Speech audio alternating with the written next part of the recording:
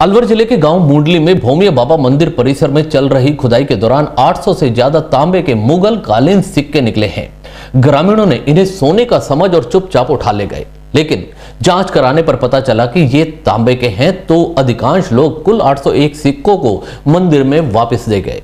इस मामले की ग्राम पंचायत सरपंच को सूचना दी गई, लेकिन कोई भी इन ऐतिहासिक सिक्कों की जाँच करने नहीं पहुँचा। इस वजह से अब तक करीब उन्यासी सिक्के खुर्द पुर्द हो चुके हैं। बाकी बच्चे सिक्कों की सुरक्षा कर रहे ग्रामीण, इन सिक्कों को हर रोज सुबह मंदिर में लाकर रख देते हैं और चोरी होने के डर से रात को वापस ले जाते हैं।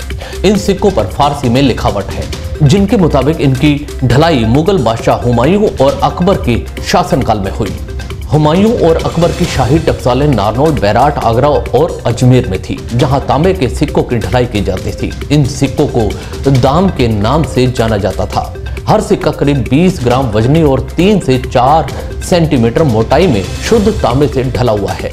मुंडली स्थित भूमिया बाबा मंदिर परिसर में निर्माण के लिए यहाँ बने रेत के टीले को समतल करने के लिए खोदा जा रहा था। इसी दौरान जेसीबी मशीन के पंजे में मिट्टी के साथ एक मटका भी निकला। इसमें यह ऐतिहासिक सिक्के भरे हुए थे।